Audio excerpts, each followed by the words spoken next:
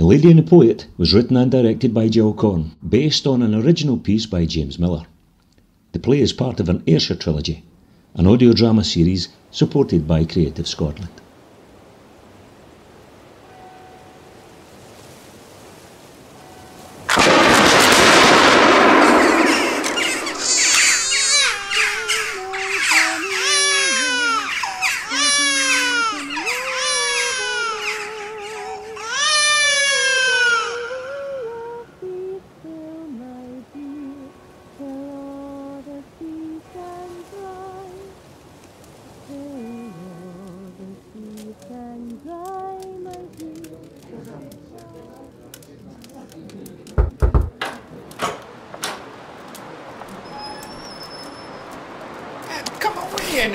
You by the fire.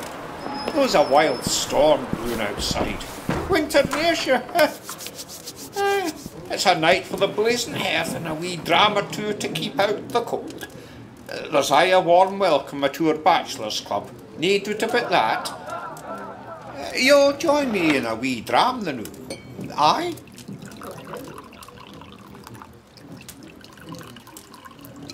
Slanger.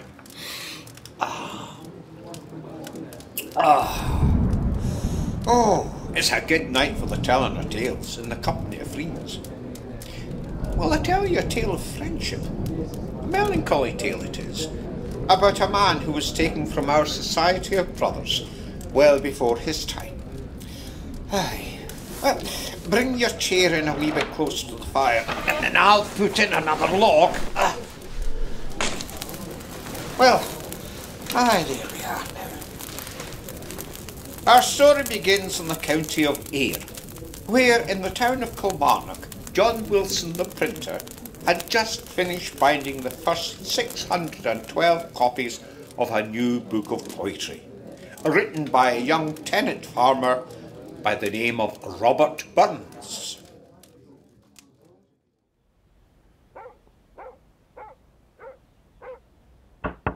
Yes, what is it? Packet for you, ma'am. A packet? From whom, Ellen? He didn't say, ma'am, and he didn't wait for a reply. It's a book. So it is, ma'am. Poems, chiefly in the Scottish dialect by Robert Burns. Uh, you may go, Ellen.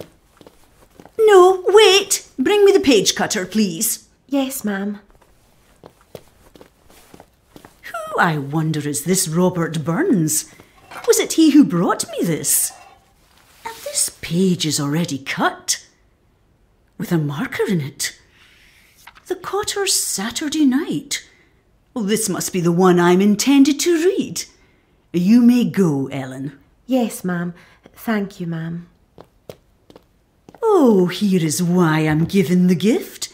The poet writes of William Wallace, of my heroic ancestor. O thou who poured the patriotic tide that streamed through Wallace's undaunted heart, who dared to nobly stem tyrannic pride, or nobly die the second glorious part. This is marvellous. I shall send for Mr. Robert Burns at once. To stem tyrannic pride, I must meet this poet. Ellen, bring me paper and pen right away and tell the groom's boy he's to write to Mauchline to deliver an urgent message.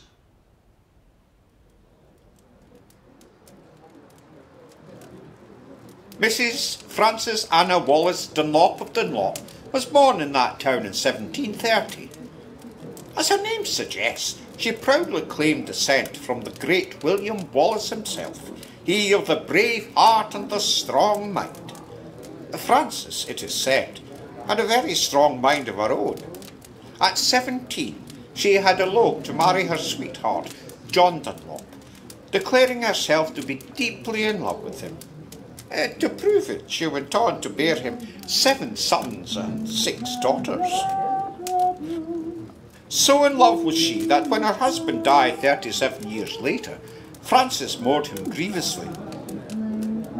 Indeed, she found herself in a state of such despair that she feared it would drive her to the madhouse or the grave until that packet arrived at her door. Another wee dram? No. Aye, of course she will.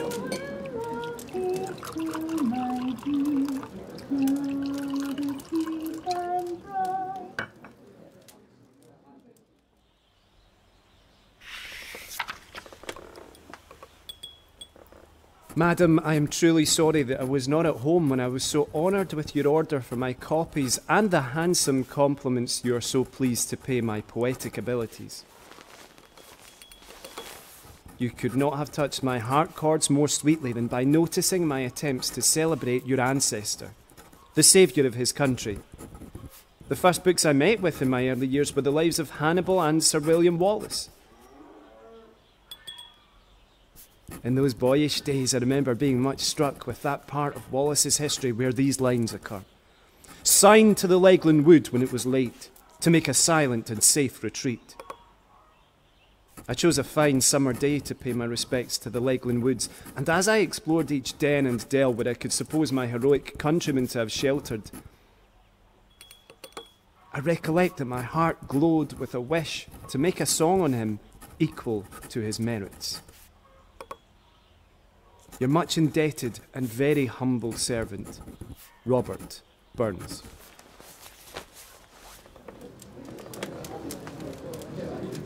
Ah, canny Rab to send his book to Frances Dunlop. She was weel kent in Ayrshire society, and she it was who made sure that his fame would quickly spread about the county and beyond. The first edition of his poems was sold out in no time. So far did word get about that on the 27th of November in that same year he borrowed a pony and set out for Edinburgh no less, where he met with William Creech. Master Creech was a very influential publisher and bookseller, and Rab sold him his copyright for 100 guineas. Can you imagine that? A hundred guineas. Uh, I feel drouthy just thinking about it. Mm. Ah. Well it was in the April of 1787 that the first Edinburgh edition of Rab's work was published, and he began to taste the heady sweetness of success. So much so that the great portrait artist Alexander Nasmyth was commissioned to paint his portrait for the frontispiece of his book. But if Frances Dunlop had encouraged him this far, she was less taken by the notion of sudden fame amongst Edinburgh society. She feared it would turn his heat, and that her poet would be lost, as a consequence, to his home county of Ayrshire.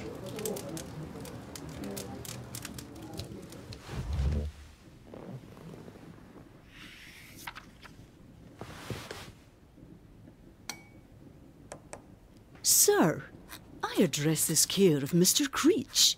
Pray tell me, did you write nothing in the Leglen Wood, and I may be favoured with a sight of when you come west? If you drop me a line, direct it for Mrs. Dunlop of Dunlop by Stewarton.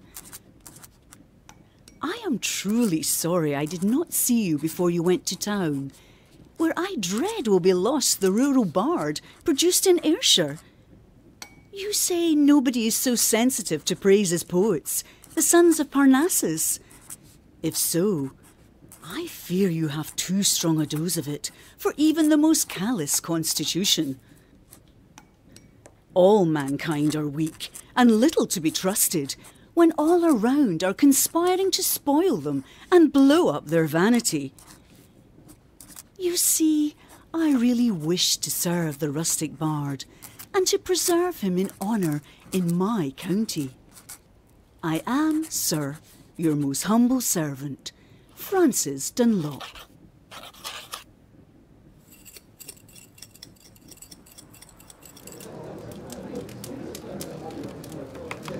Uh, Rab, it seems, was more concerned about living up to his new minted and wealthy friend's expectations of him. He started to doubt whether he really had the talent or the money to move in Edinburgh society. And those English sounding folk over there, they're very different from us. Their ways are not our ways, so I've heard. I wondered he didn't drown amongst them like a landed salmon.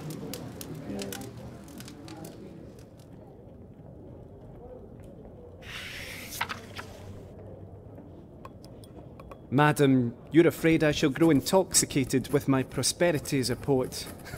Alas, I know myself and the world too well. I do not mean any airs of affected modesty. I'm willing to believe that my abilities deserve some notice, but to be dragged forth to the full glare of learned and polite observation with all my imperfections and crude, unpolished ideas, I assure you, madam, I tell you, I tremble for the consequences. The novelty of a poet in my obscure situation, without any of the advantages which are reckoned necessary, has raised a tide of public notice which has borne me to a height where I am feeling absolutely certain my abilities are unable to support me. I mention this to you to disburden my mind, and I do not wish to hear or say any more about it. Robert Burns.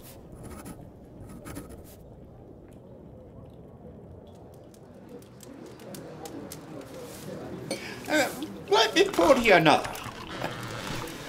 You will have heard Rob's reputation with the ladies. Of course you have. But his friendship with Mrs. Dunlop was not of that kind. She was a respectable widowed lady, a confidant, who was not afraid to speak her mind. Ah, it's true, the poet had an eye, and it seems that Rab's reticence concerning Edinburgh society did not stifle his appetite for amorous adventures. Dear me, no. Uh, one lady in particular took his breath away. She was a married lady, Nancy MacLehose, and he cried her Clarinda. I tell you this in confidence, madam, and I trust you will not betray me. My song Clarinda was a real affair. I truly lost my heart during my stay in Edinburgh, but circumstances are too romantic to be credited even almost from the mouth of truth herself. Ah, love, it is a painful thing, is it not? Our Rab certainly suffered much from it, and sought to suffer, it seems, time and time again. I mind his brother, uh, Gilbert, saying of him that he was constantly the victim to some fear and enslaver.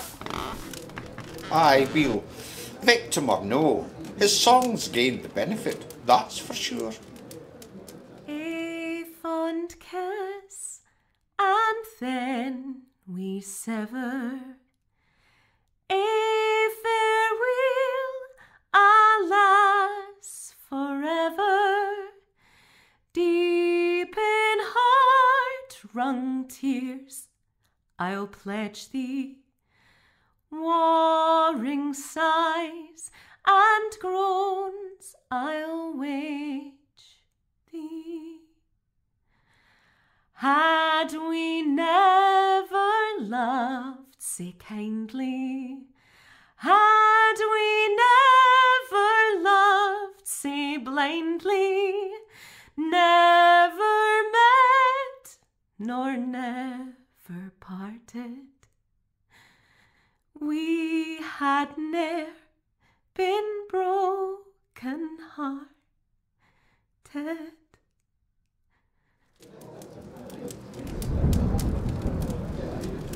Ah, Rab, Rab, when your Clarinda sailed away to Jamaica with her husband, I don't doubt you pledged your hot-wrung tears, for a wee while at least. But another love was waiting for you back home in Ayrshire.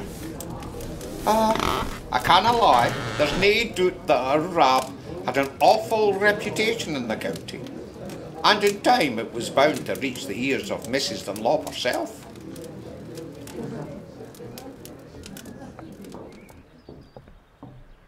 You'll bring no more bastards into this house. You'll take yourself and your disgrace away from this place. Father, where will I go? Mother, you must help me. Too late to call for your mother. Mary, get away upstairs and don't interfere. Why are you so cruel to me? I am your daughter. My daughter? All the more reason you can't abide here. The Kirk teaches us there is those destined for salvation and those bound for damnation. This is the second time you have grown fat with child by that, that incomer, good for naught farmer. And where is he now? I am his wife. You are not his wife. You are his whore. And if I am not his wife, it is because you made me deny him. You took the marriage paper and sent him away. You chased him for money so that he couldn't come back. If I am his whore, then you are a whore master. Enough! Get out! I'll go now, and you'll not see me again. Rab will come for me, and we will be man and wife together. If you think that, you're an even bigger fool than he takes you for. A fool and a sinner. You will burn in hell, as will he, so the Kirk tells The us. Kirk can condemn us all it likes. I just want to be with my Rab. And I will be. I will be.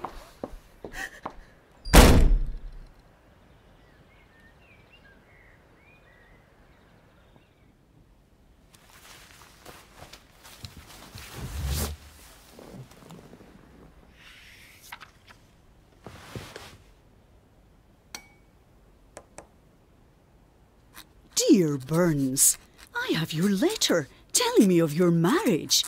Your picture ought to make a rational man happy, but much depends on the man as well as the poor female, from whom you men generally require all, and to whom a great many of you give nothing.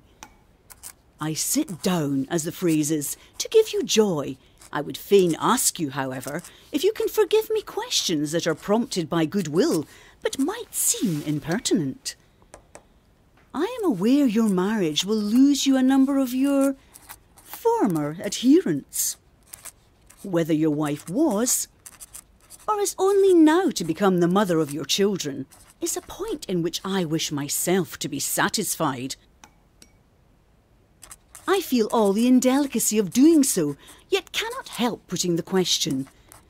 Tell me, therefore, what prevented your marriage long ago, and on which side came the objections that are now removed? Oh, Burns, let me go one step further and tell you that I tremble for your peace. You have tried your influence with a young innocent girl who sacrificed everything valuable to convince you of her affection.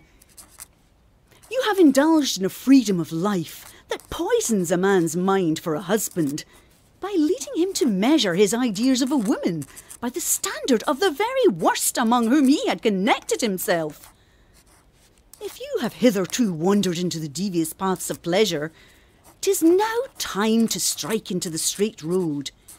You lie open to more temptation this way than most other men. But forgive me, I have been preaching, yet it is just what I think, and so you shall have it for better or for worse. And may God bless you both. Frances Dunlop.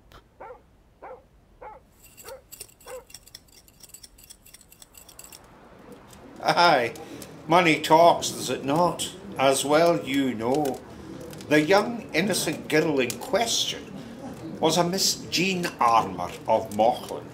Although that's not quite how Rob described her at the time, she, uh, uh well, at any rate, her parents would have none of Robert Burns, the poor farmer. Until that is, he returned from Edinburgh, a richer man, and a celebrated one. It was always the way of the world, eh?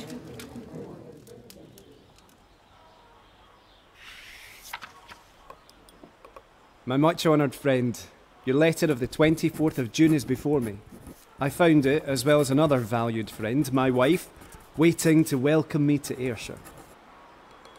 When I write to you, I just write in the fullness of heart. Mrs. Burns, madam, is the identical woman who was the mother of twice twins to me in 17 months. When she first found herself, as women wish to be who love their lords, I took some previous steps to a private marriage. Her parents got the hint, and in loathing of my guilt at being a poor devil, not only forbade me to her company in their house, but hearing of my rumoured West Indian voyage, they got a warrant to incarcerate me in jail till I should gain financial security in my about to be paternal relation. You know my lucky reverse of fortune. On my visits to Mauchline from Edinburgh, I was made very welcome to visit my girl, but when the usual consequences began to betray her, she was turned, literally turned, out of doors.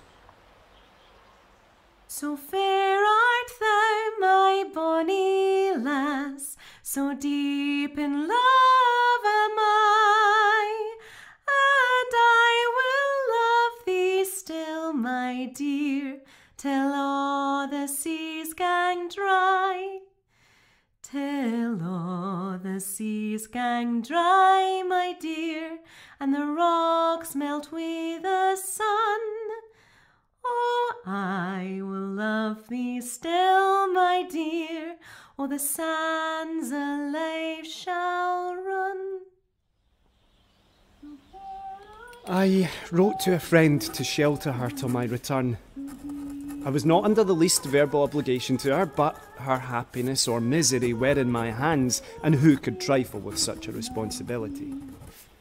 To the least temptation to jealousy or infidelity, I am an equal stranger. In short, I can easily fancy a more agreeable companion for my journey of life, but upon my honour, I have never seen the individual instance. I have the honour to be, madam, your ever grateful and humble servant, Robert Burns.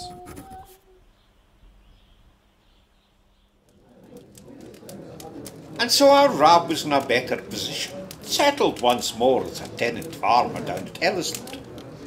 But married as he was now to his bonny and fruitful Jean, there was no doubt the wains would keep coming. He must consider his future. In the army, perhaps, where he might buy himself a. Mrs. Dunlop moved in influential circles, so Rab sought her opinion, which of course she was only too glad to give.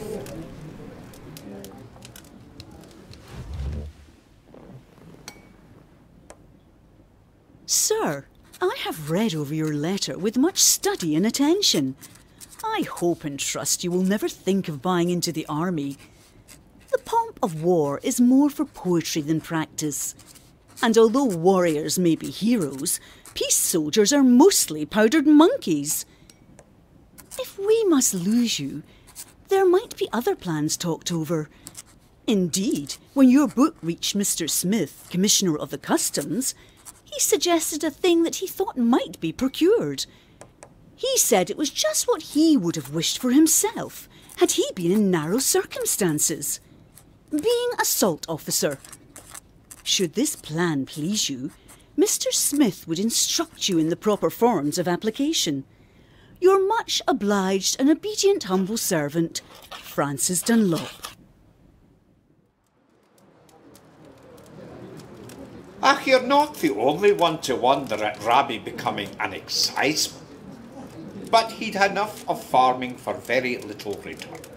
And I believe Edinburgh had given him a taste for something better.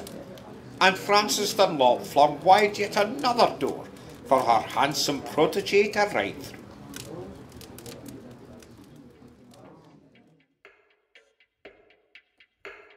I got the offer of the excise business, and as it costs me only six weeks' attendance for instructions to entitle me to a commission, I thought five and thirty pounds a year was no bad last resort for a poor poet. The deal came fiddling through the tune and danced a war with excise man. And I mentioned to you my excise hopes and views. I have been once again a lucky fellow in that quarter. The excisemen's salaries are now fifty pounds per annum. Five days in the week, or four at least. I must be on horseback and very frequently ride 30 or 40 miles ere I return, besides four different kinds of bookkeeping to post every day. The deal came fiddling through the tune and danced a war with excise man. And Ilka wife cries old Mahoun, I wish you luck of the prize man. The deal's a war, the deal's a war, the deal's a war with excise man. He's danced a war, he's danced a war. He's danced a war with excise man. We'll mak our motto, we'll brew our drink, we'll laugh, sing and rejoice, man. And money brought thanks to the meikle black deal that danced a war with excise man. The deal's a war, the deal's a war, the deal's a war with excise man. He stands to war, he stands to war. He stands to war with excise man.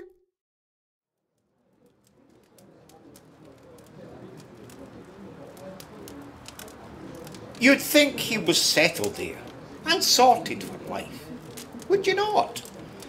But our Rab had very strong opinions and he didn't keep them to himself. He had no time for the kirk, as we know. All the nonsense about being destined for hell fire. All the fairy tales made up by the ministers and believed by those who thought themselves uncaged. Aye, but Rab's ideas went further.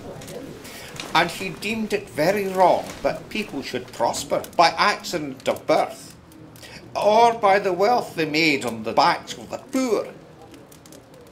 As a boy, Rab had seen his father work himself to death to benefit greedy landlords.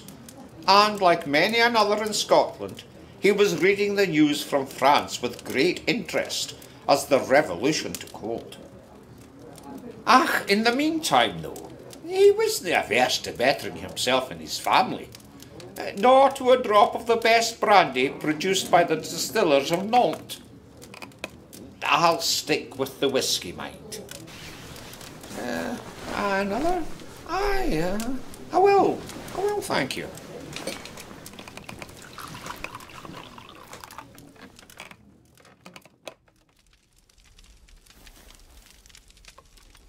I have hopes of a port division. A port division is £20 a year more than any other division, besides as much rum and brandy as will easily supply an ordinary family. This last brings me to my second topic of discourse, namely your unfortunate hunting of smugglers for a little brandy. An article I believe very scarce in your county. I have, however, hunted these gentlemen to better purpose than you, and as a servant of my brother goes from here to Mauchline tomorrow morning, I beg leave to send you by him a very small jar of as genuine Nantes cognac as I ever tasted. The jar will reach you, I trust, by some safe channel, though by what channel I leave my brother to direct. Robert Burns. Aye, they were good enough, Fred, still. Rab caught his fifth child after her, Frances Wallace Burns, and he dedicated a wee song to her. Uh, you may have heard it. Uh, bum, ba-dum, da, da, da, da, dum, da, dum, ba, ba, bum, bum, bum, Welcome to your gory bed or to victory. Lay the proud usurpers low, tyrants fall in every foe, liberties in every blow. Let us do or die. So proud was she of her ancestor, the great rebel Wallace, that maybe Rab thought the lady would be in tune with his own rebellious thinking. If so, he was sore mistaken. With her sons in the army and her daughters married to royalists over the water, she was struck with horror at the thought that the French could murder their king and queen.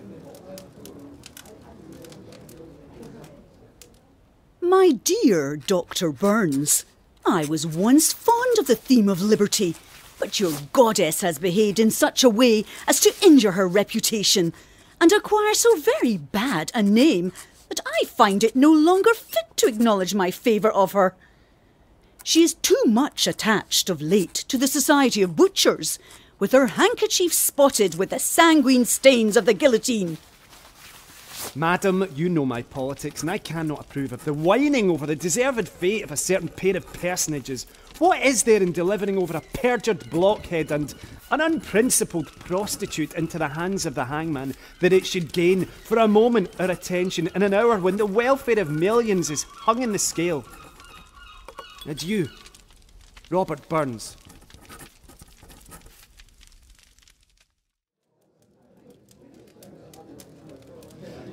Ah, Rab, Rab, your, your opinions in this case would have been better kept to yourself. You were a man of strong passions. There's those would call it tappet thrawn. And though it was a letter you likely should have consigned to the fire, Ah, it's a sad thing to lose a friendship. A very sad thing indeed. We were all good friends once, but life provides stones in many a path for friendship to trip on. I, I mind Rab wrote a song about it. Uh, how did it go? Should all acquaintance be forgot and never brought a mind? Should all acquaintance be forgot and auld lang syne?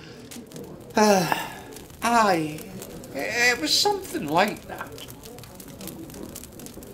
Ah. No doubt, too, word had reached the lady that his philandering ways with the women and his fondness for the drink were marring his reputation across the county. We all knew him for a generous man, a patriotic man. He wouldn't even take payment for his poems and songs, deeming them a gift to his beloved Scotland. But it's sure his good name has suffered in many a quarter. Now, it seems Frances Dunlop had put him and their old acquaintance from her mind. The lady had turned her back on the poet, and his letters to her went unanswered.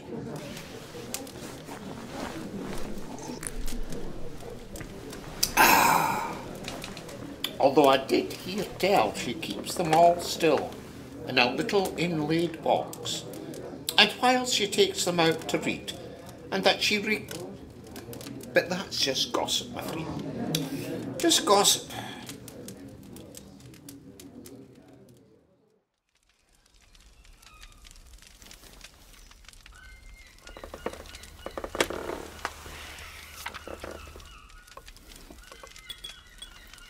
These many months you have been two letters in my debt.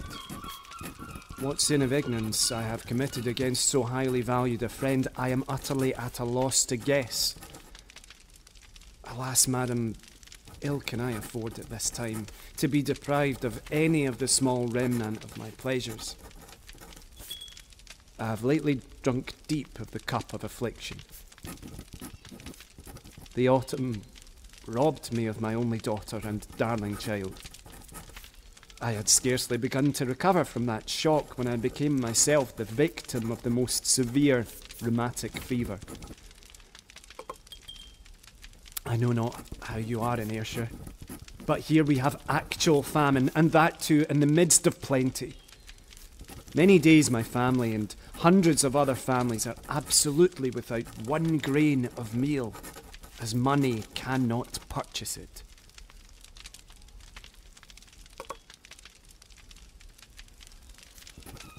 How long the multitude will be quiet, I cannot tell. They threaten daily. Farewell. May all good things attend you. R. Burns.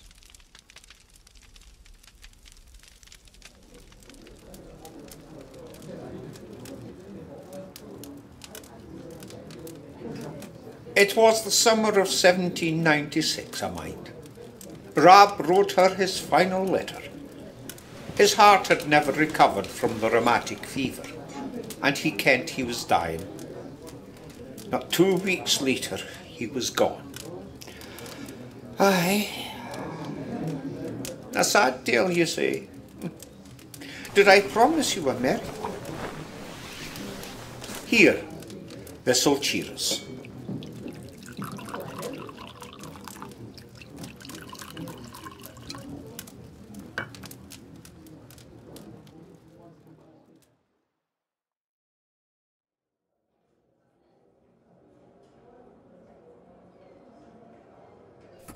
Madam, I have written you so often without receiving an answer that I would not trouble you again but for the circumstances in which I am. An illness which has long hung about me in all probability will speedily send me beyond that burn whence no traveller returns. Your friendship with which you honoured me was a friendship dearest to my soul. Your conversation and especially your correspondence were at once highly entertaining and instructive. With what pleasure did I use to break the seal? Remembrance yet adds one pulse more to my poor, palpitating heart. Farewell, Robert Burns.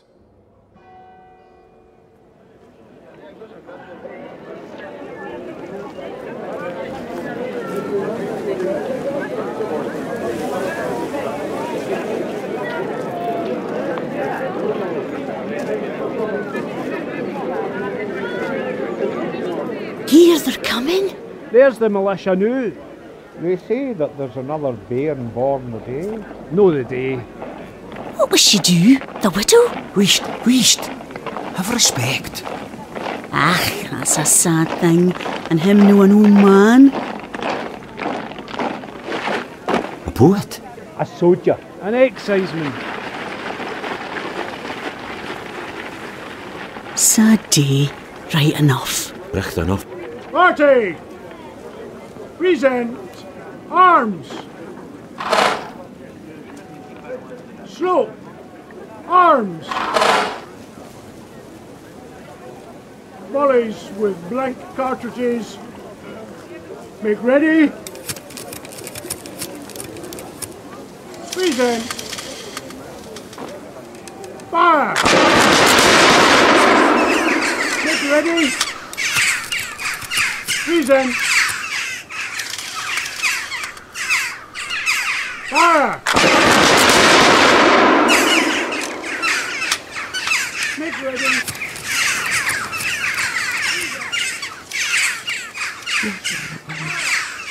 Easy again.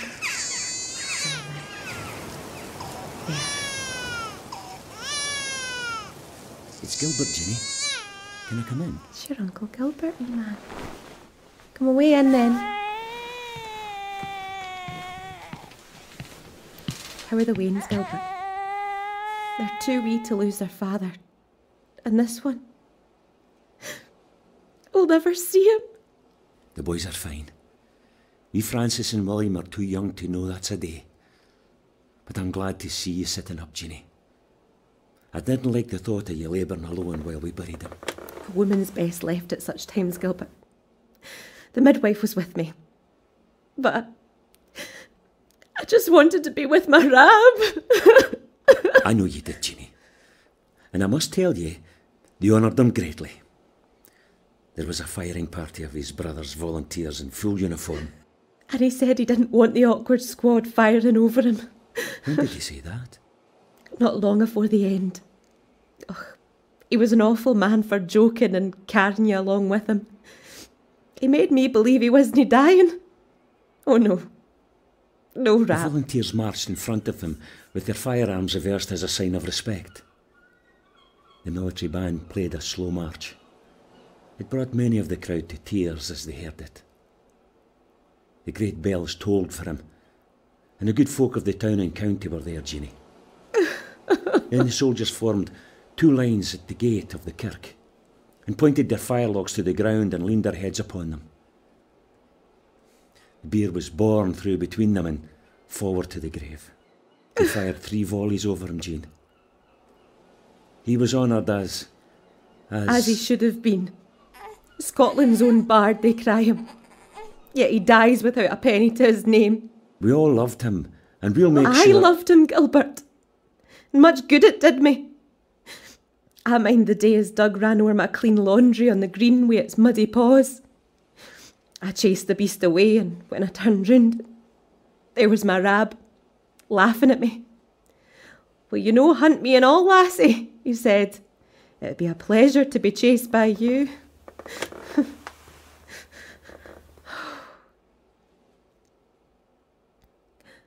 Five wains now, and four more buried, and no money even to put a flower on their graves. Oh, don't you worry about that, Jean. Was she there? Uh, Who? Mrs. Frances Wallace Dunlop of Dunlop. N- n- Was she there? no, I, I. If anybody broke his heart, she did. What do you mean? Never mind, Gilbert. It's all past now. See, here's wee Maxwell. If Rab were here, he'd be stroking his soft cheek like this, and kissing his head where the wee pulse beats. Just there. See? Ah, my wee man. Your mammy's here. Your mammy's here.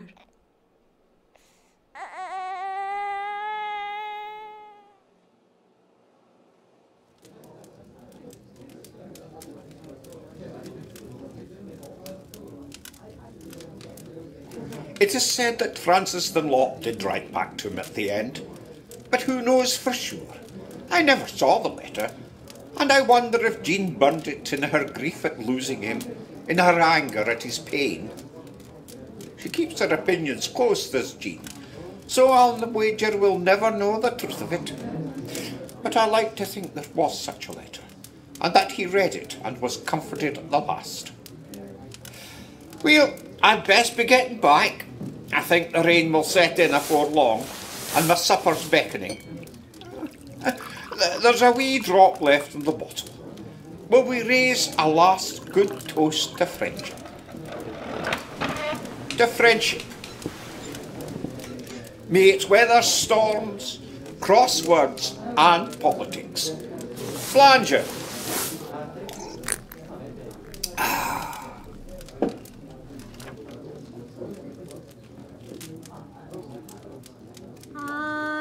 Walking o, walking still and weary. Sleep I can get nane, for thinking of my dearie. Summer's a pleasant time, flowers of ilka